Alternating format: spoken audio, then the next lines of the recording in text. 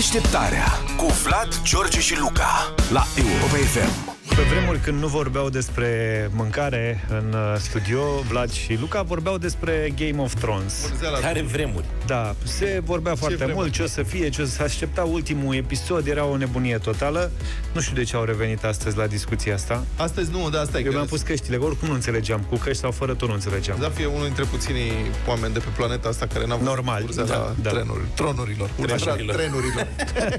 Revenind la povestea zebrei din Suceava, zebra în sensul de trecere de pietoni, nu copitata, povestea trecerii de pietoni ce dă în zid din centrul Așa. orașului Aia Suceava. de-am vorbit ieri. E fără sfârșit, da, după ce am vorbit ieri despre asta și despre faptul că viceprimarul Lucian Harșovski a anunțat o intervenție urgentă, ne-au scris ascultătorii, indignați, iată ce ne scrie Aurelian, Tyron, pentru că de la asta ne-am pornit cu um, urzeala tronurilor. Tyrion, Lannister, Tyron, nu știu ce Da, să da, știu. da. Dincolo, acea trecere de pieton din Suceava, zicea, zice domnul Aurelian, nu ducea spre zid. Știți care e povestea?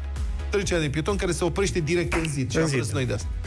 Acolo erau treptele de acces spre librărie și toate societățile comerciale de acolo. Tot spațiul comercial avea trepte. Și arăta totul foarte bine. Era singura trecere de pietoni, nu știu ce, și acum acolo primăria a refăcut pietonalul și s-au adăugit, s-au gândit ei să anuleze acele trepte făcând zidul respectiv. Mă rog. Deci, înainte, practic, adică acolo e o lucrare făcută prost de la început. Nu doar zebra e Da, da. greșită. Astă toamnă, după ce au făcut pietonalul vieții, a crescut zebrei un zid în bot și asta a fost problema, a făcut ochii vineți și de acolo întreaga poveste. Dar lucrurile nu se opresc aici. E o situație în evoluțiune. Ochii ageri ai jurnaliștilor locali au identificat o operațiune de manipulare și propagandă organizată în jurul zebrei Buclucașe, dragi prieteni. Astfel, publicația Știri de Suceava afirmă că l-a prins pe viceprimar din nou folosind, citez, conturi false de Facebook pentru a-și lăuda singur activitatea, iar postările laudative au fost apoi, distribu- au fost apoi distribuite de angajații primăriei Suceava pe rețeaua de socializare. Super. Bun. Deci, aparent, după ce viceprimarul a anunțat că va interveni la Zebra Buclucașă, un cont de Facebook fals a publicat patru fotografii în care apar viceprimarul și un bărbat îmbrăcat în training În zebră. la trecere de pietoni în chestiune.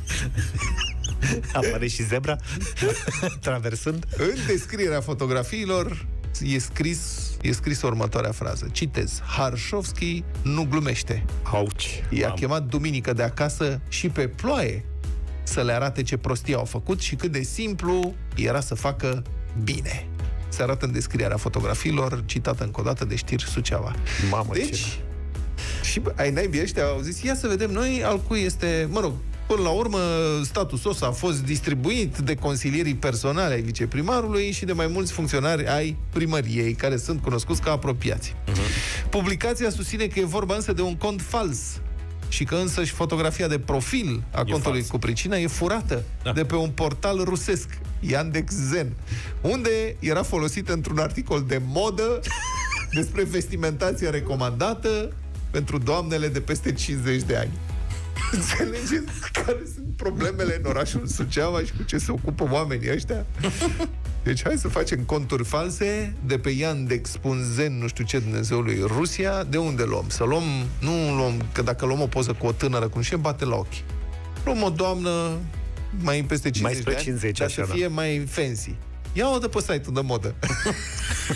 Înțelegi? Și după aia se duce să pozează pe, pe zebra, faimoasa zebră din Suceava și își postează singur, se laudă. Ia uite ce am făcut, frate! Și hai să ne lăudăm cu doamna de 50 de ani de pe Yandex Zendir. E veselie mare acolo. Eu cred că suntem niște triști aici. Nu înțelegem cum să trăim bine. Da, așa e.